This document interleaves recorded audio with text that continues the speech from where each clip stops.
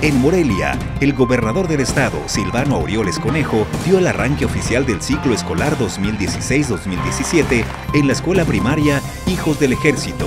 Más de un millón de alumnas y alumnos de 12.208 planteles de educación básica en la entidad iniciaron clases sin ningún contratiempo.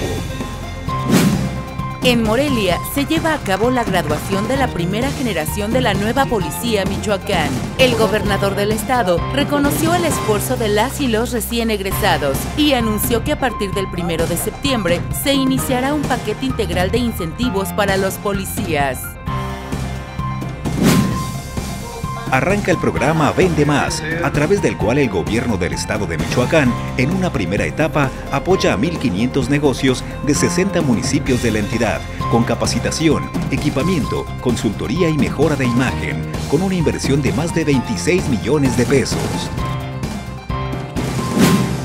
En Tuxpan, el Ejecutivo Estatal entregó apoyos del programa Colibrí, educación, salud, alimentación y vivienda. Además, arrancó las caravanas de servicios integrales y arrancó la construcción de drenaje con reposición de concreto hidráulico en la tenencia La Soledad, obra que tendrá una inversión de 1.240.000 pesos.